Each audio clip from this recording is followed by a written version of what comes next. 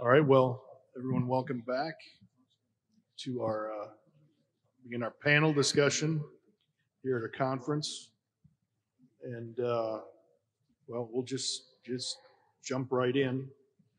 Um, the theme of this conference is taking up the urgent task of missions and church planting.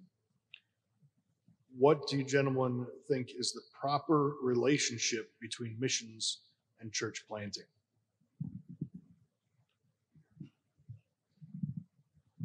I'll say something and then the other guys can correct me, okay? Uh, that, could, that question could be taken several different ways, couldn't it? But uh, missions is church planting, uh, and I guess uh, in, in some other country, but it's the same thing as we do here, only with the complications of doing it in a diff- different country. Great, the Great Commission commands planting churches, and whether it's close to home or far from home. Uh, that's what it commands, and that's what we're supposed to do. Church planting is is the ultimate goal of all missionary activity. Even missionary activity that would be called personal evangelism, personal discipleship, even mercy ministries with regard to medical needs and hospitals. I know of a Reformed Baptist doctor who has through his hospital planted like 11 churches. And so it's the ultimate goal of the Great Commission. Another thing is always realize this missions is just one biblical church training elder qualified men and sending them out to plant another biblical church, whether it's at home or abroad. And then finally, one thing that I would say, and if I were to begin a seminary, like I were to have a seminary.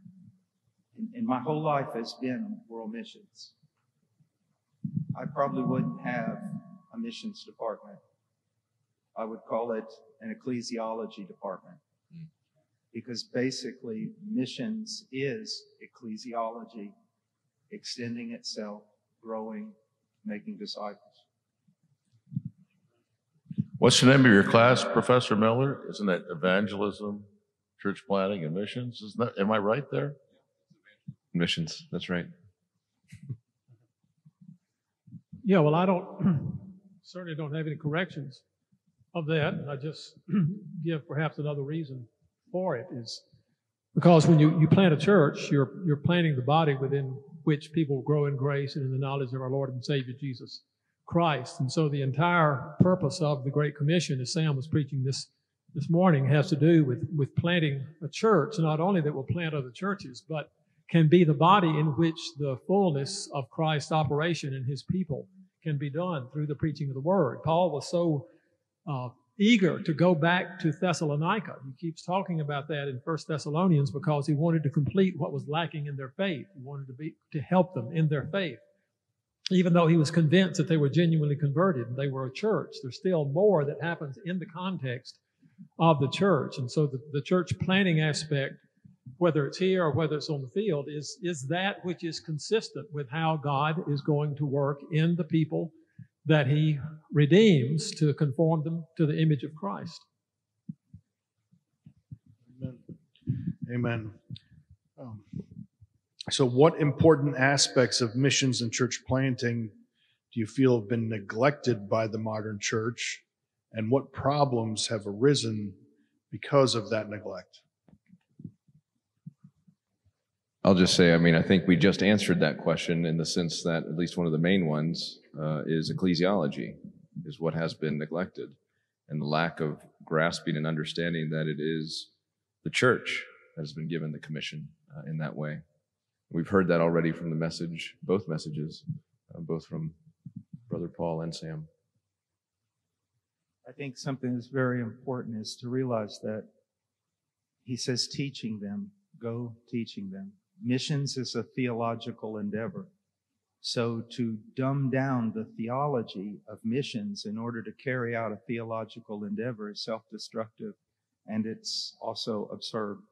Another problem is sola scriptura, you and I have no right to invent in the same way that Moses had no right to redesign. He wasn't asked to design the tabernacle. He was asked to follow, commanded to follow the design that God had ordained. It's the same way in missions.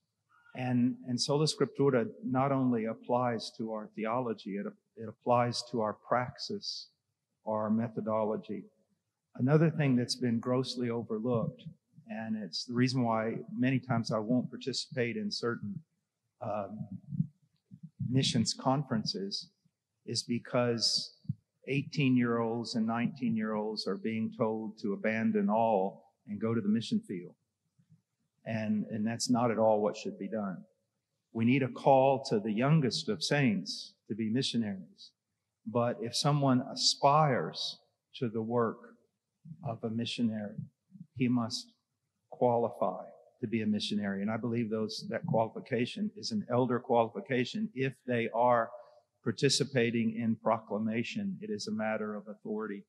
And um, young people can go to the mission field, but they must go from one elder sending to another elder receiving and work under and in that context. Another thing that's always the case, and we've already mentioned it, is that church planting is the goal. It's not how many people raised their hands, how many people did this or that. I was coming back years ago from uh, Europe, and I just happened to sit beside a missions statistician, I believe he called himself. And he started talking about people groups that had been reached. And I was thinking, as he's saying these names, I'm going, I know they're not reached. I know they're not reached. And so I asked him, in your definition, what is a reached people group? And he says, a people that have lived within walking distance of where the Jesus film has been shown. So that gives you an idea of what's going on in world missions. You know, one of the things that we constantly say to men in our own church for our students, and which I think dovetails with what Paul just said, is that um, you need to have both an external and an internal call to the to the ministry. Uh, you cannot call yourself, and the fact that you feel called isn't sufficient. Um, Paul in Romans 12 not Paul Washer, the Apostle Paul, uh, said that we ought to think soberly and not to think more highly of ourselves than we ought to think. And I know that when I was learning this, uh, the importance of an external call to the ministry, uh, that text dawned on me. And one of the things, uh, as I thought about the text, that has stuck with me, and I've said it to probably a number of you guys sitting here is this.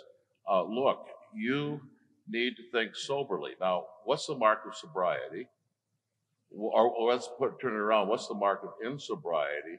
What's the mark of somebody that's high on drugs or alcohol or somebody else, something else?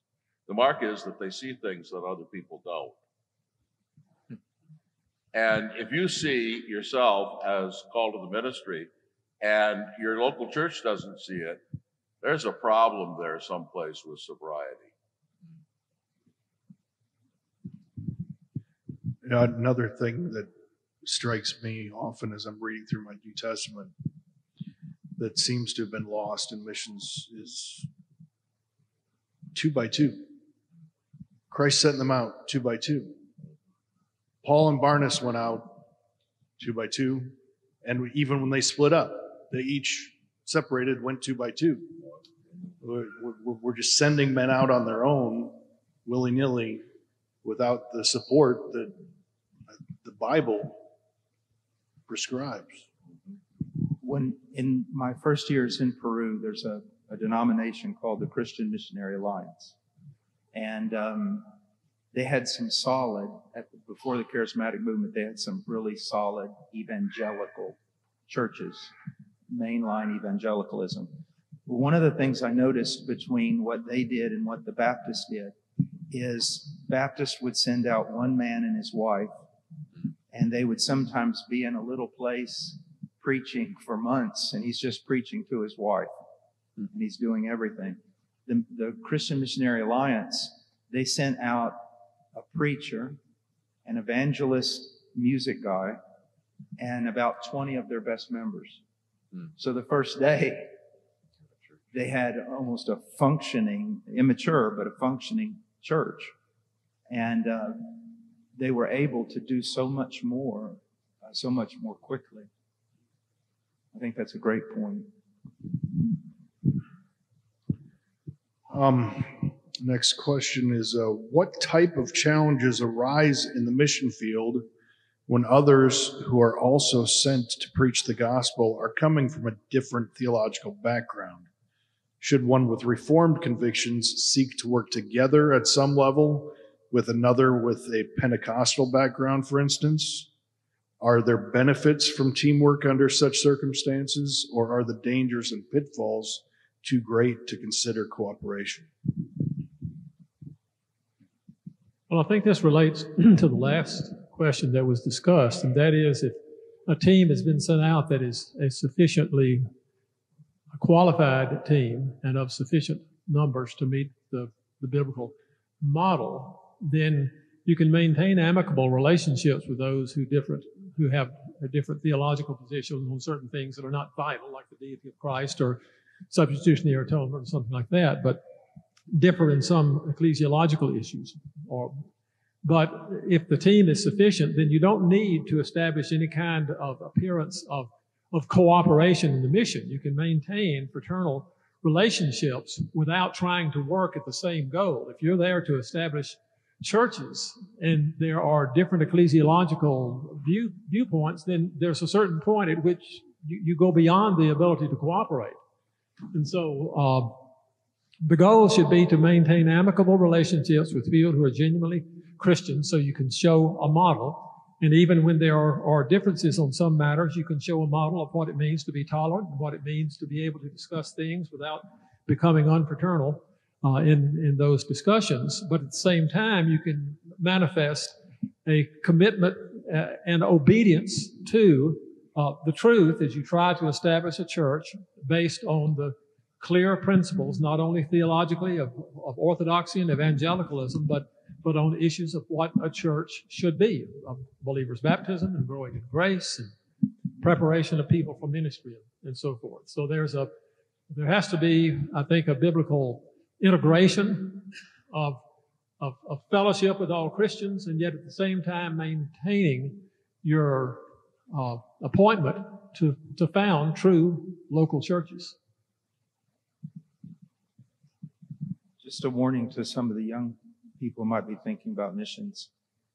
Generally, now this is not always the rule, but if you go to some mission sending group or something and you look at their theological statement, if it is not very specific, uh, that should already be a red flag. But what you need to understand is the the theological statement you see on the website, more than likely when you get to the field, it'll be far more watered down than that. And never, never forget, uh, seminary students sitting in a hallway can uh, throw out all kinds of different views and ideas and everything else. But elders, uh, they don't have that luxury.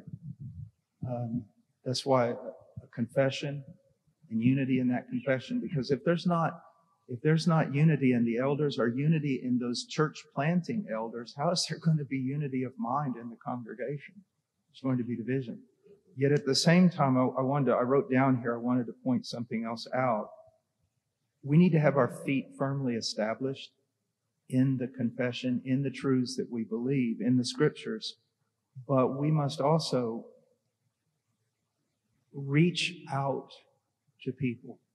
There are so many people who have been genuinely saved, yet never had the privileges of those who are sitting in this church. They never had the privileges of, of all the literature, all the preaching uh, that that many of you have, have received. And I, I, can point to two different illustrations. One is Conrad and Mbewe and the Reformed Baptist in Zambia. They have ministerial training schools. They have three different ones. And you'd be surprised how many men have come from Pentecostalism and charismatic and they have gotten converted. Pastors have gotten converted. Or others that have come to understand the great truths of Scripture and abandon this modern folly. And the same can be said in Brazil.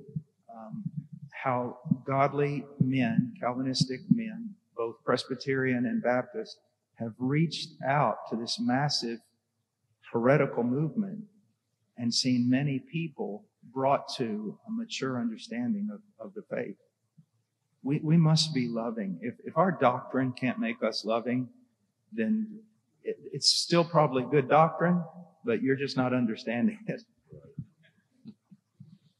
you know, yeah, this, if, if missions is church planting, and if church planting requires a specific and shared vision, then at some level, uh, you have to have confessional uniformity or unity uh, to plant a local church, and that means you need to have that kind of unity in doing missions. Now, should someone doing that try in all sorts of ways to influence, be kind, loving, helpful to other churches and other missionaries? Of course. And are there probably levels at which some cooperation could be done? Of course. But uh, in terms of church planting, you've got to have a specific and shared vision.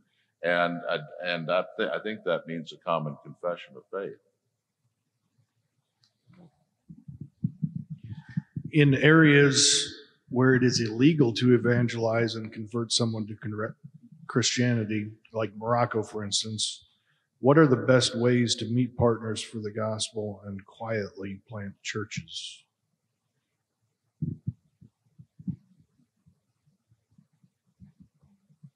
In almost every case, take Morocco, for instance, take even some of the strictest Arabic speaking countries, there will be God's elect. There will be people converted and there will be men working. Uh, they may have a very simple or primitive theology, but they have genuinely been converted. Now, here's what you need to understand about missions. Missions is, is not that difficult. You look at the indigenous person and you ask yourself, what is in their hand? Then you look at yourself and ask, what's in my hand? And if there's something in my hand that's not in their hand, that's where I need to strike. Um, I was uh, with some believers in Indonesia uh, several years ago, and I said, "You don't need to." These were cross-cultural Western missionaries. I said, "You don't need to be running around the streets of Jakarta preaching the gospel and getting thrown out of the country. That isn't helping anyone." But you've had seminary training. You know Greek. You know Hebrew. You've studied theology. What you need to do is find all these men that are in these house churches and every other place, and you need to pour what you have, what you have received in God's providence, you need to pour that into them. And in a way, I mean, that's, that's what's going on with, um, with Covenant and other places. They're going around. Um, I guess Sam could do, Sam can do evangelism, but there's no sense him going to Colombia and doing evangelism when there are better evangelists but the theology that they need to strengthen their churches. That's what he needs to bring. That's what covenant needs to bring. And all of us need to adopt that attitude. What do I have in God's providence that they don't have? And then pour what I have into them. I think we have a tension in this whole thing because we have so many examples of, of martyrs, the voice of the martyrs, and the uh, we have admonitions that we will have tribulation, that we must take up our cross and follow Christ. And so I, I guess a part of what we need to think about is who is it that, that should die, or who is it that should get run out of a country? And I've thought about that same thing, that sometimes we may mistake our foolishness for bravery. When what is going to happen to you if you're in some countries, they're not going to make a martyr out of you. They're just going to export you and not allow you to come back, and so your witness is lost. But then there are those who are there and they're going to be persecuted too. And so they have to be willing to die for the faith. Uh, and the question is when, when, when should a missionary also be willing to die for the faith? This is a question with, with me. And I, I wonder sometimes if, if I were there, if I were preaching, and they told me if you keep preaching, then we're going to bring you up for capital crimes, would I quit preaching and leave or would I keep preaching and die? And is that a matter of, I'm, I'm asking the panel this too, is that a matter of wisdom? Do, do we have an option to decide when we should do that? Or if the threat is such that, well, they're asking me to do something that I know I have to do. So I've got to be willing to die for this. At, at what point do we make that decision between being thrown out and dying? We're there for the edification, the building up of that indigenous church. When a missionary goes out and does something wild, gets thrown out of the country, he just gets thrown out of the country and then he can go around to every church in the United States talking about how he got thrown out of the country. But it, but persecution may erupt for that indigenous church that can't get on an airplane and leave. And so it's always a, the question of, of love. If if my martyrdom will result in the benefit of that local church, then let it let it happen. But if it's going to just cause grief, you know, so it's always a question of what impact will my life have on the church. Listen, men, I know what it's like.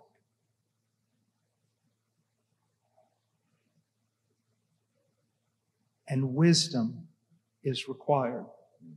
Wisdom is required.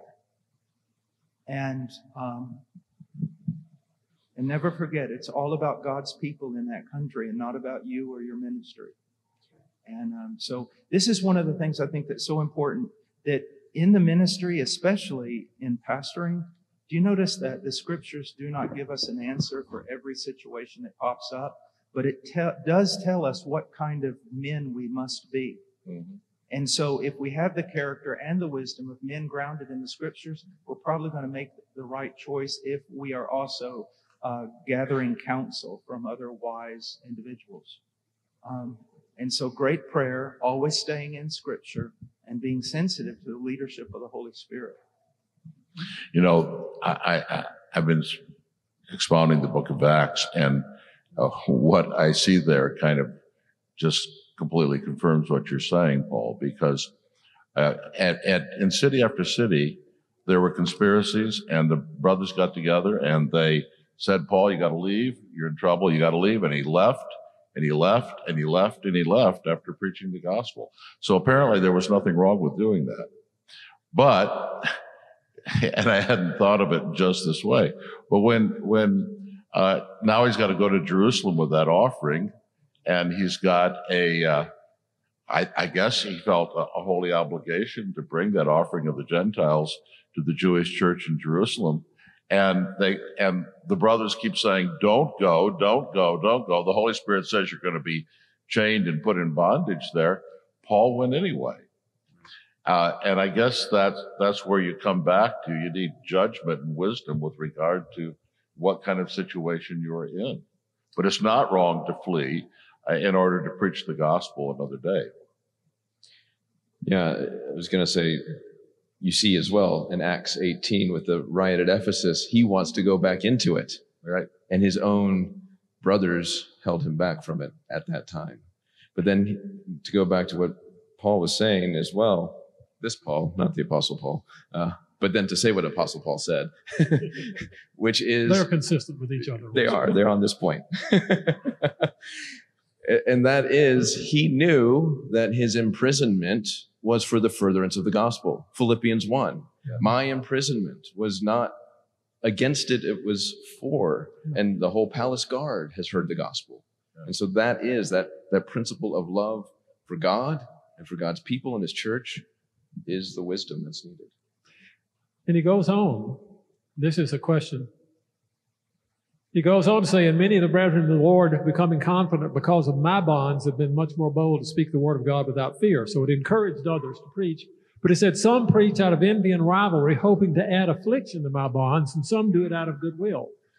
Now, I'm assuming that Paul believed both of these were really preaching the gospel. Both of them were genuine Christians. But there was some sort of uh, jealousy or some sort of envy that had arisen because of maybe Paul's popularity or because of the position God had put him in as sort of the, the chief of the apostles. But is that is that a dynamic that you see sometime on the mission field? How do you control that dynamic when you realize that there are good people who are preaching the truth and are very effective in ministry, but they develop some sort of a rivalry with each other? How, how is that to be handled? It's a theological problem. One of the things that temper men more than anything else, if they will just believe that God is the God who sees. He's the God who sees. Sees into your heart. He knows what you're doing. And, and all these things of rivalry and trying to get a name and everything else, it's all the result of not knowing God. Because if you believe in the God who sees, then you'll be content before Him. And, and but but I have seen that on the mission field.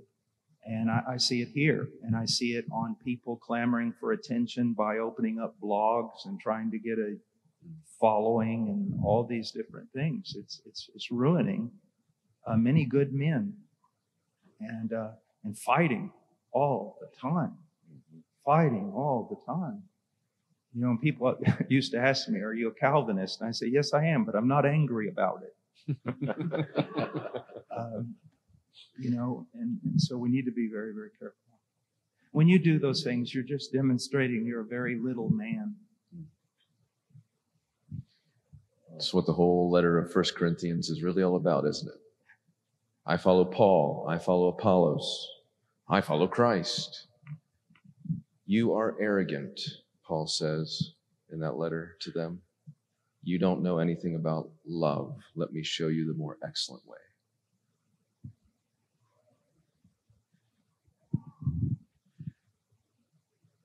If someone is called to missions, how should they seek to be prepared for that vocation?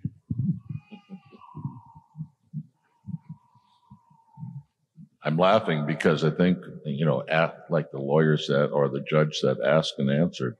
Uh, uh, they need to be uh, putting themselves under godly elders, preparing for the ministry, getting trained and theologically trained for the ministry, and they need to seek to have their own internal call uh, confirmed by godly men in a godly church.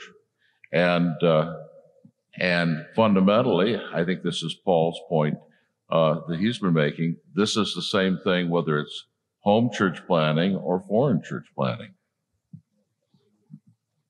Absolutely, it's in the context of you see again, go back to qualifications of 1 Timothy 3 or Titus 1. Who's going to, who's going to judge those things? Those are character qualifications by and large. Who is going to judge those things? It must be done in the context of not just elders, but a congregation. A congregation. Another thing I think is real important to recognize is seminaries get blamed a lot of times for something they cannot do. Um, I tell young men, a seminary cannot prepare you for the mission field or ministry. A purpose of a seminary, in my opinion, is to give you the tools so that you can spend the rest of your life preparing. Now, I believe, and I saw this and I've seen it in so many places. You'll see guys come into seminary and they, there's like a great divide. There's the guys who like Greek and Hebrew and systematic theology and they're on this way over here to, to scholarship and a PhD and becoming a professor. And then there's guys who are out in the street and they're ministering and witnessing and, and they just don't really have time for all that kind of stuff. This is horrific. This is horrific. Our best theologians ought to be going to the mission field. Our best scholars ought to be going to the mission field. Why? Because if, if I'm working in an area where there's a thousand churches planted that are all sound and I plant one church that isn't too sound, it's going to do damage, but not that much. But if I go into a country that has no church and the church I'm planting is the very deep root of everything that's going to happen there, I am going to contaminate that entire country. I, when someone tells me they want to go to the mission field, when it comes to scholarship, I tell them, learn the languages, and I mean the biblical languages. Learn hermeneutics, systematic theology. Learn systematic theology so you can learn to think in a non-contradictory manner, especially ecclesiology. And then finally, church history. Church history is so important. Why? Because if Benny Hinn was sitting here right now and you asked him a question and he answered, and you said, Why'd you answer that way? He would say, Because bless God, that's what my Bible says. If you ask me the same question, I'm probably going to give you a completely different answer. And you ask me why, I'm going to say, That's what my Bible says. So we're at a stalemate. So what do we do? We go through 2,000 years of Christian history. I'm not talking about the history of Catholicism. I'm talking about the history of men and women who were redeemed by the blood of Christ and who believed the scriptures were the word of God. We go down through that. And if they all agree, and they disagree with me, who's probably wrong? And also the reason why church history is so important on the mission field and one of the most neglected things on the mission field is that in many cases, people are going to be converted out of a national religion that claims that it goes back to the very creation of time. And they're going to say that these believers in Christ have joined some Western modern sect. And those believers need to understand that they're part of redemptive history that goes back before even the fall of Adam to the very decrees of God. They need to know that, and it gives them strength when they do. We cannot commend all our students. You realize that. I'm sorry, I don't, don't have anything against some of you, but we cannot commend all our students because all we can guarantee is that you're going to get taught uh, the disciplines of theology the four departments of theology are going to get caught, taught it from a, a standpoint that is confessional and won't contradict the confession. But we can't prepare you for the ministry sitting out in a church a thousand miles from us.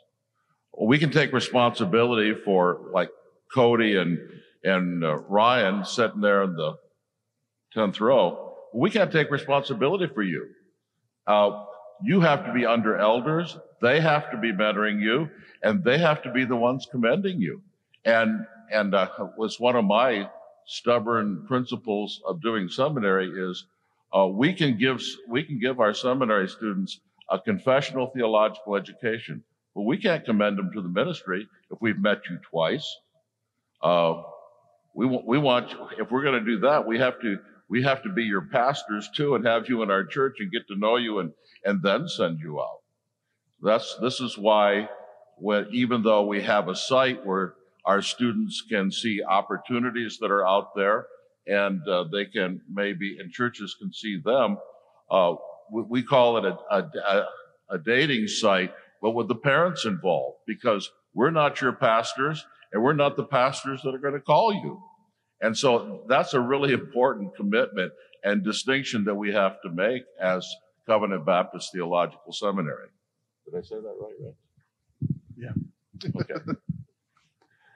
I don't want to bring coals to Newcastle on this, but I do want to confirm what I'm hearing. I have students ask me sometime about trying to hierarchialize the, what is to be learned in the seminary. And I think the first thing and the most important thing is to learn how to deal with scripture, how to interpret the Bible, how to understand the Bible. So if you're going to be a teacher of God's people, you've got to really be an expert in that. You have to use all the tools that are available. So learn your Greek, learn your Hebrew, learn principles of hermeneutics, learn how the whole Bible fits together, develop for yourself a biblical theology in that way. Second thing you should know is systematic theology. You have to know the Bible is consistent, that it doesn't contradict itself.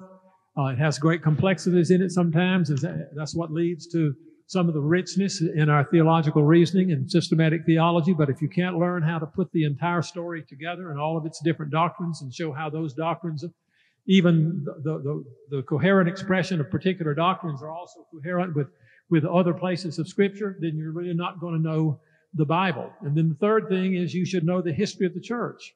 Just like Paul said, that you should understand that there can be a almost a consensus of witness in the history of the church, it becomes a, a virtual uh, uh, obligation for you to believe, like the, the Council of Nicaea. They work through all the Christological issues, and though the Council of Nicaea is very short, the, the Creed of Nicaea is very short and terse, but nevertheless, if, if there are things in it that you disagree with, substantial matters you disagree with, you should question yourself and not the, not the Creed of Nicaea because the, the, doctrine of the Trinity is condensed in that, and the, and the deity and humanity of Christ, and the fact that He, for us men and for our salvation, came down was made flesh and was made man, and, and so forth. So those are those are condensed truths. So church history becomes a very important thing. And also, uh, we don't need to think that it's, that missionaries are the ones who should sort of be the least qualified to be pastors here, the least qualified to engage in a, the complex North American culture or something like that. It's going to be a much more complex engagement in other places where you have to deal with other religions and you have to deal with a multiplicity of them and other philosophical ideas. And you're going to have to have that ability to understand what Christian theology is, what Christian history is, and you're going to have to be able to put it even in an apologetic framework. Not that you are going to convince anybody of yourself to become a Christian, but there are the means that you need to use as a good steward of these things. And so, so being a missionary calls for a, a high degree of giftedness and a high degree of stewarded expertise in those things that constitute Christian revelation. So those are, I think, are some important, some important issues about what it means to discern if, if you may be qualified and may be being called to be a missionary. Can you engage in a different culture with that kind of thorough commitment and knowledge of what the Christian faith really is? Just to come back then to the place where you start, the most important thing is first learn what it is to be a committed churchman what it is to be a member of a church. Learn how to love people. Learn how to love the Lord. Let me say something to you, young men. You know, I'm kind of known for talking about true conversion and the evidences of true conversion, all these things. It took me years of studying the scriptures to come to what I believe. And I'll never forget one day, after years of study and having come to the conclusion about uh, the evidence of faith, the evidence of genuine repentance, and all these things, struggled years. I opened up the Heidelberg Catechism by accident and fell upon a few questions that answered every one of my questions. That's pitiful. That's pitiful. You don't have to reinvent the wheel. I mean, if, if I in seminary if I could trade all my seminary training for going through the catechism of a guy you don't even know, Hercules Collins, I would have been a far more trained and equipped man on the mission field or young man than I was. And so don't, don't despise these things. They've been used throughout history to make men grounded and to give them some sort of sounding board for the faith. Hercules Collins was a pastor of a church called Wapping Baptist Church. Oh, that's why I like him. I remember sitting in doctoral seminars at Southern, and we'd be discussing something in a colloquium, and guys would be saying stuff. And I would have red lights and yellow lights going off in my mind as they went down certain tracks of, of thinking. And uh, I, I, I, was thinking to myself, these are doctoral students. What's wrong with them? Don't they know what they're doing? And the fact of the matter is that the difference was that I understood the historic confession and they'd never studied it. And so they didn't have the, the, the, the margins, the rails that in God's kind providence I'd be given because I understood the confession of faith and the historic, the historic mainstream of the Christian tradition.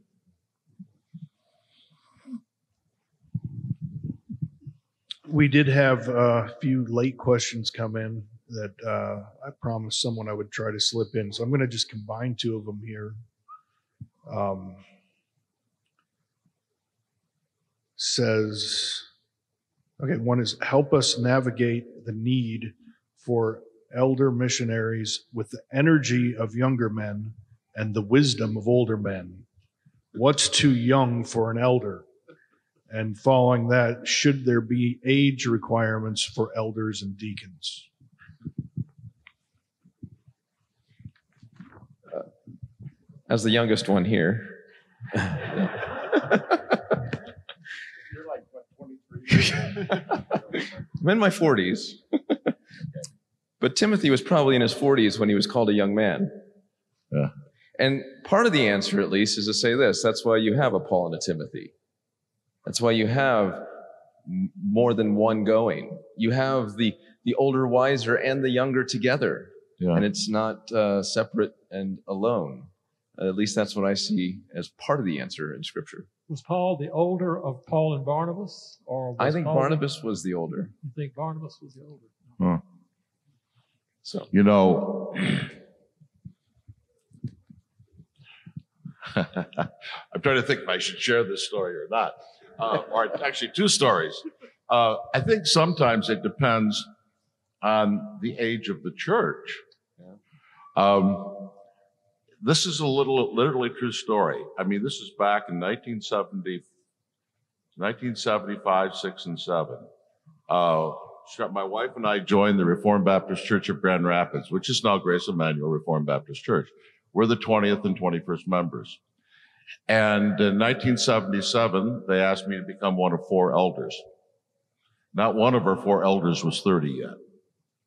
But that wasn't a problem because the oldest people in the church weren't quite probably 40 yet. So it, it does depend a little bit on the situation, I think. Um, uh, uh, That's not an excuse because did we make mistakes? We sure did. But the problem was there weren't any other Reformed Baptist churches within 500 miles of Grand Rapids, Michigan back in 1975. Hmm. We were having to figure this out basically on our own and with the help of some brethren maybe out on the East Coast someplace. So I do think, but I do think it has to do with the relative maturity of the church. How many of you have seen the picture of Spurgeon when he was 19, Mm. Yeah. standing with the elders at the New Park Street pulpit? He's just standing up as straight as he could and got this slick back black hair and doesn't have his beard then. And then all these men are sitting there and they've got white sideburns, white hair, and beards. It's just, it is a picture of contrast. But who was the most mature among that group? Amen. 19 year old Spurgeon was. And a lot of it is because of how he grew up and what he learned even before he was converted and what he read and what he knew. And so there's, uh, it would probably not be good to try to set a, a, a an age. No one under 20 can do this or it, it, it does depend upon experience. It depends upon how quickly a person matures. It depends on their, their convictions and, and whether or not they have genuine leadership skills. So I was just going to say, if I may, as the younger one, uh, it, it, the issue is not age, it's maturity. In my Bible reading this morning, I was reading the words of Elihu, who says, It's not the old who are wise, nor the aged who understand what is right. now, the point being, Boy, do I feel rebuked. touche. not, not that, but the point being, it is it is the spirit of the Lord working through His Word that matures people at different Yeah. different rates, and that that thing is the issue of maturity, not of age Hmm. alone. But, but let me, let me say something here. Um, we have become basically a very stupid people, an ignorant people. And I want, to give you a case in point.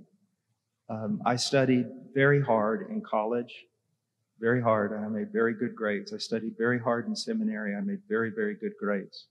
I'm saying that because when I graduated, a friend, knowing that I liked, I, I, I appreciated logic, even in my secular days, that he sent me a book on logic, a friend of mine from Canada, for my graduation present.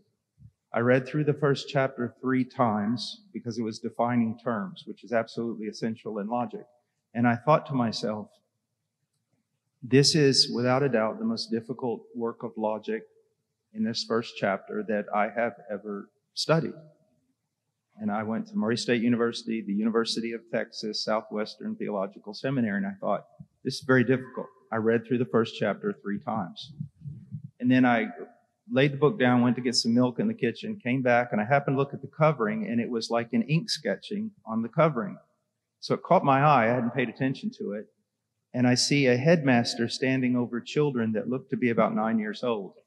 And I discovered that it was basically the basic curriculum for children in the colonial period. Mm-hmm. Also, when you look at the age in which young men are getting married, mm-hmm. you, you've got to realize that, that we're experiencing an Isaiah 3 judgment on our nation. Mm-hmm. Where little boys are railing against men and women are ruling over them and so on and so forth. And so with great caution, only with great caution, and with the confirmation of older men, should you as younger men ever take upon yourself the mantle of an elder or a missionary. And, but I will say this, there is nothing wrong with a man being brought into the ministry or even go to the mission field that at that moment is not necessarily elder qualified, but is submitted to elder qualified men and continues his learning through them. This is John Mark, who was probably in, was probably intended to become uh, what he was not yet, and that was a qualified uh, missionary and elder, right? Um, I know of a situation close to me where people in a church had been burned by certain younger elders uh, that they'd had before. And so when a qualified man was put up, who was in his 30s, they, they wanted to argue, some of them, that he was too young. Hmm. Well, of course, the point was um, the qualification for being a priest in Israel was 30, and uh, that's when Jesus entered the ministry as well as formal ministry. So I do think sometimes it's these kind of background issues where people have been burned and they've seen problems with younger men that kind of complicate this issue too.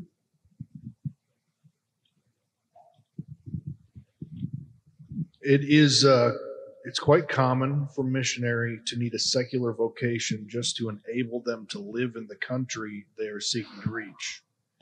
Should every everyone preparing for the mission field be willing to consider such tent making ministry?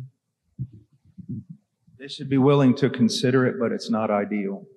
And I wrote down here in Acts 18 makes it clear that when Paul labored as a tent maker until the arrival of Silas and Timothy, then he began devoting himself completely to the word. And um, I appreciate those men who who do it because it's the only way to get into the country, but it, it's not ideal. Now, when you move from a cross-cultural missionary to an indigenous missionary, it becomes almost impossible. Most of the men that were in my church in Peru are the men I've known overseas in the different countries that I've worked in now. They don't work eight hours a day. There's no such thing as a part-time job. A part-time job will not even begin to feed your family. These men work 12 and 14 hours a day just to bring home enough food for their children. So to think that they're then going to work in the ministry is almost an impossibility. And so, yes, we ought to be willing to do it, and sometimes it is necessary, and in the States it is possible. But I believe we should follow Paul's example. If you've been called to preach the word, then anything that will free you to do that needs to be grabbed hold of. Amen.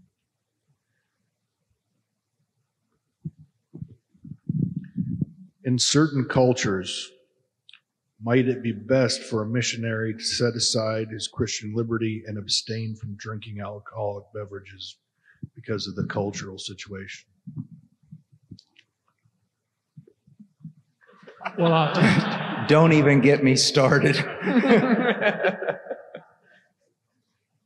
I mean, it doesn't matter what situation you're in. Paul says that we should set aside our Christian liberties if it's an offense to our brother anywhere, whether it's here or whether it's on the mission field. We shouldn't claim our liberties as our as as absolute rights that we're being persecuted if we can't claim all, all of our liberties. Um, so we do what is edifying for the brothers, what will uh, commend our character to them. And so, yeah, we should be willing to set aside liberties. We can't set aside anything that's absolute. We can't compromise our doctrine and be willing to say, "Oh, well, you're not really sinners. You can you can make it by burning perfume or something like that." You can't set aside those things, but what we call Christian liberties, you can. But we also don't need to be willing to condemn others. Uh, I think James is dealing with this when he says that you, uh, in the things in which you condemn another, uh, you are condemning the law of, of God. We, we think, well, if there's not a law against that, there ought to be. Uh, so, so, so we have to work both ways ourselves. We can't condemn others for their liberties unless we see, unless we want to talk with them and advise them and say, I think you're being an offense to people by taking this. And if you value the gospel and value your ministry, perhaps you should consider giving that up. But I think anytime we should be willing to forsake our liberties. I think the thing that bothers me the most is um, we've actually, it seems like the younger culture has moved from that question to, to flaunting liberty on social media, you know, and um, it, it, it just does not demonstrate love, doesn't demonstrate.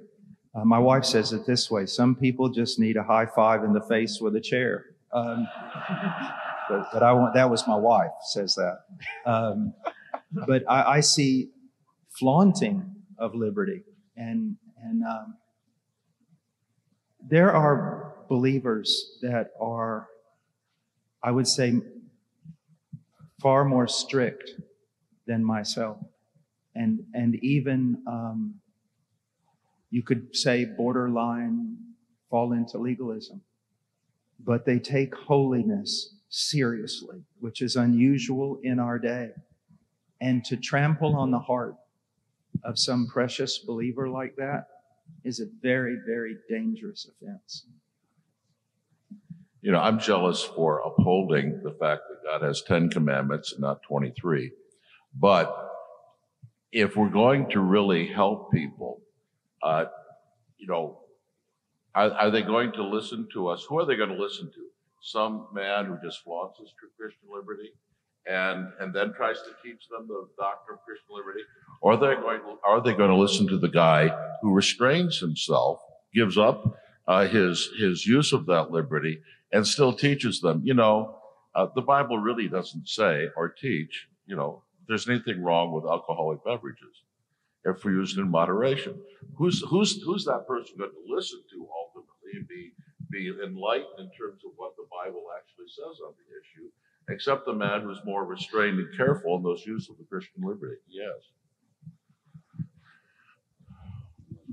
There's an interesting. Um, do small local churches have responsibility to give to church planting missions, particularly when they're not even able to support their own pastor full time?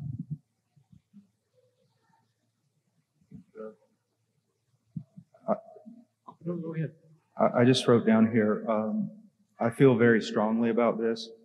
A small church should participate in the Great Commission from the beginning, and financial giving should be a part of that. However, until they can support their pastor so that he might live with dignity, the greater part of their participation should be through informed prayer. The scriptures inform us that the church is acting faithfully and doing well to send missionaries on their way in a manner worthy of God. 3 John but more direct commands are given to the church regarding the care of their pastors. The elders who rule well are to be considered worthy of double honor, especially those who work hard at preaching and teaching. And um, I just want to say this what you've got to realize is without strong pastors and strong local churches, there will eventually be no biblical missionaries.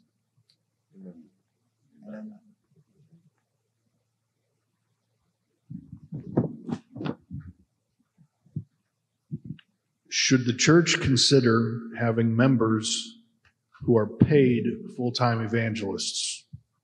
It seems interesting that some churches today will have several pastors of all kinds of different ministries and yet not have any member whose full time calling and role is to reach the lost in their community. Well, we talked a little bit about this in our lunch meeting yesterday, and the scripture says that when Christ ascended, he gave gifts to men, and he gave some to be apostles, some to be prophets, some to be evangelists, and some to be pastors and teachers uh, for the equipping of the saints for the work of the ministry.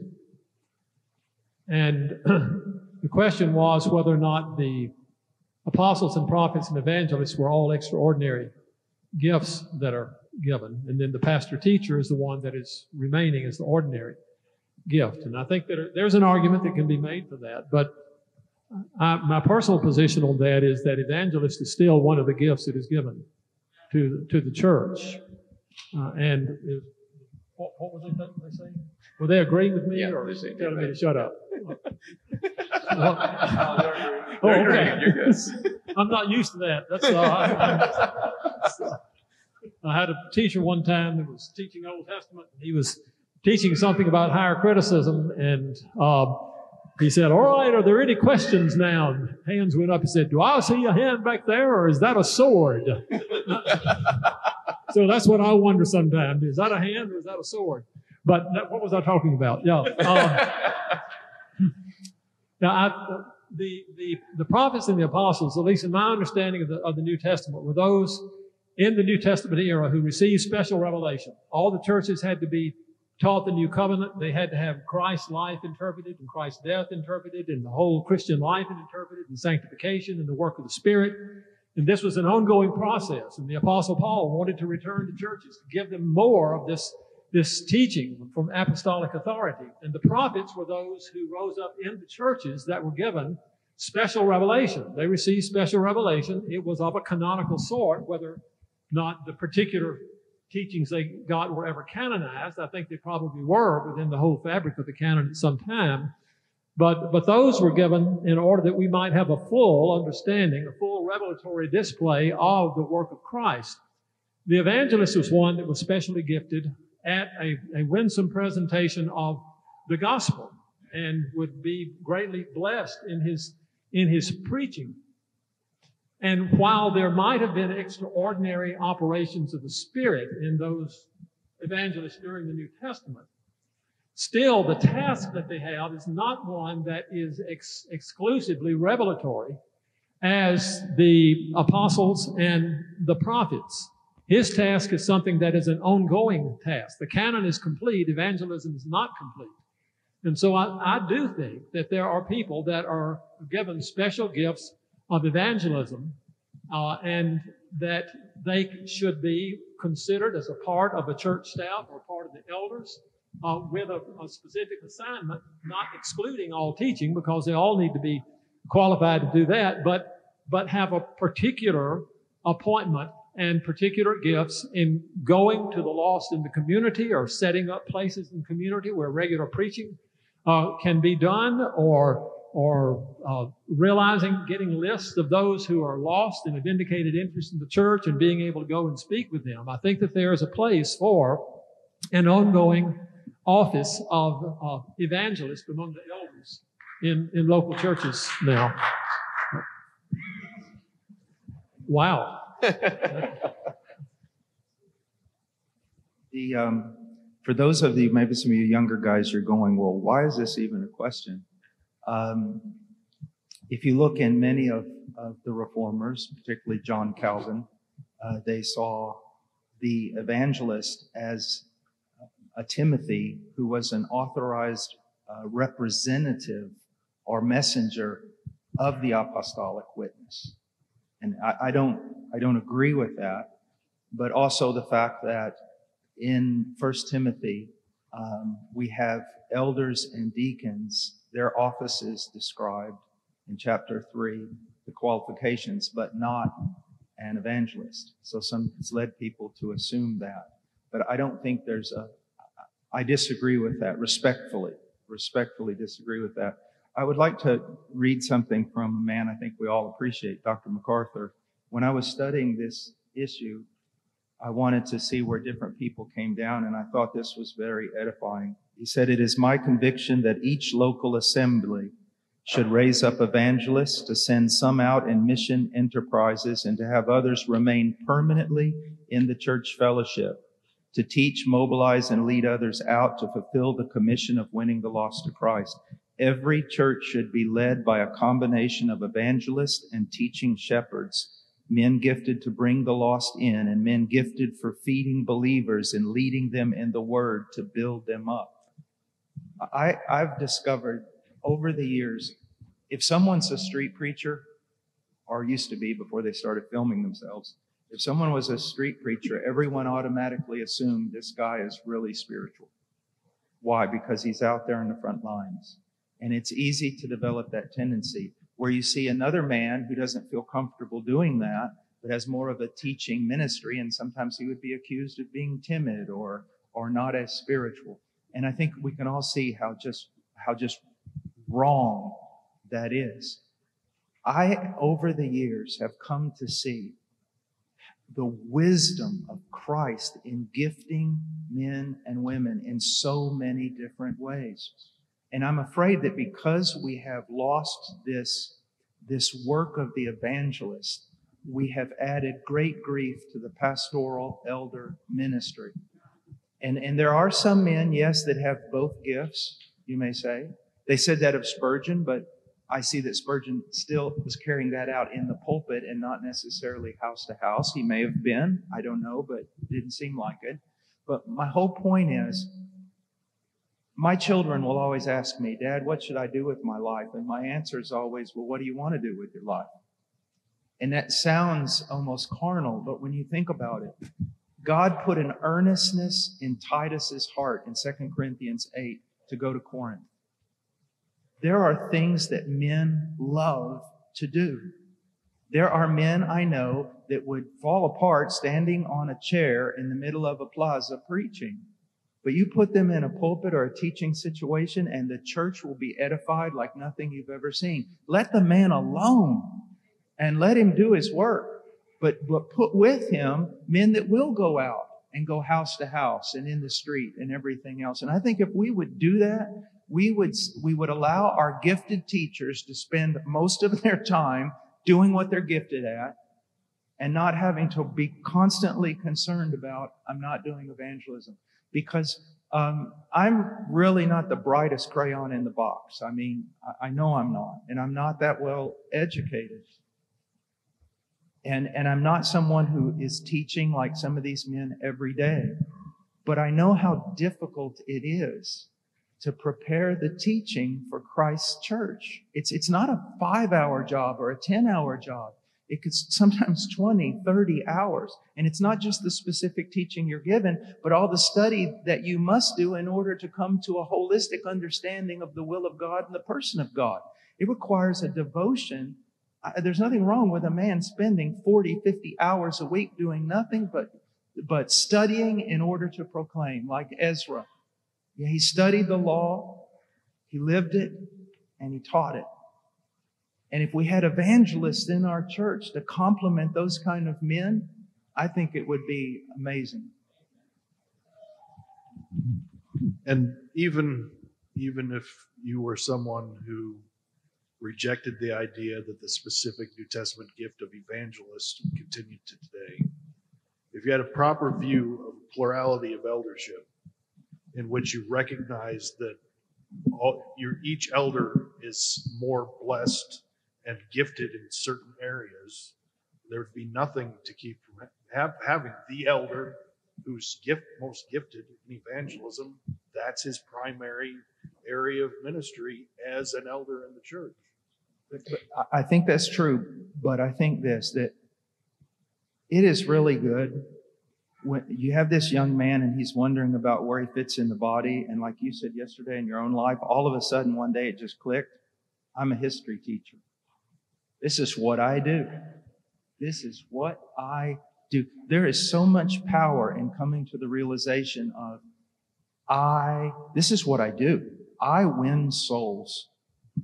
Or, and it, with that winsomeness that our brother spoke about, because remember the gospel's good news, a lot of times this gifted person doesn't necessarily win the soul. It's just with his winsomeness, his kindness, his message, he brings that soul into the church and the church sits under the teaching of the teacher and is converted. And I just think there's power in being able to say, you know, Dwight L. Moody said, don't give me a man who's good at many things. Give me a man who does one thing. And, and it, I, I think it's really neat to have somebody that, that goes, this is what I do. I, I really do. That's where you have the diversity of gifts in the church. And even historically, for Baptists, you also have. Which is another reason we plant churches. Yes, churches. We plant churches. But historically, you also have gifted brothers, our confession talks about, right? Yes, absolutely. And that's an important aspect as well. So men who maybe aren't called to eldership, but they have gifts of preaching. Even then, historically, our particular Baptist brothers, they would test and see do they actually have the gift of preaching before the congregation. And then they would go out and preach under the authority of the church as those who are part of the church.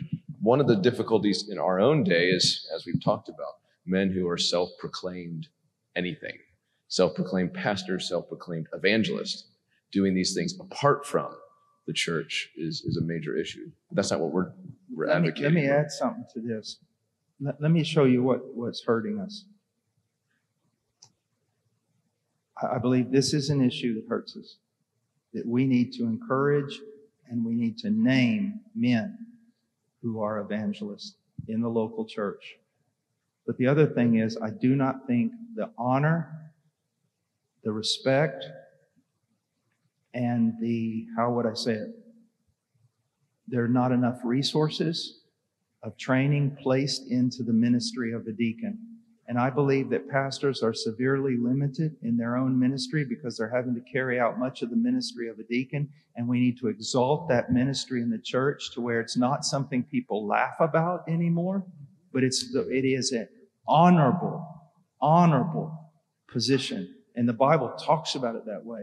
And, and, and here's the thing, guys, it- like, like David Miller always says, it's not rocket surgery. All right?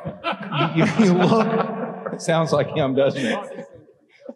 it look, guys, you, you know, running around. I remember one time I had to go into this really big church. It had blown up and they wanted me to come in there and help them and all this stuff. And I'm, I was a young man and there's like 800 members and I'm sitting in the auditorium and praying and walking around in the balcony going, you know, how can I fix this church? You know, maybe we should have able groups or we should do this and do that. And I sat down in a chair and it's like, hey, stupid. um, they just need biblical elders and biblical deacons, and that's it. Amen. And that'll heal this thing. And but but that deacon ministry, I'm coming to believe, is so much more important than what we're giving it credit for. Amen. Well, we're already a little over time, but let me just throw out this one last question. Um, uh, Probably answer it in a, in a short sentence. What is the most important advice that you would give to a domestic church planter today? A domestic church planter.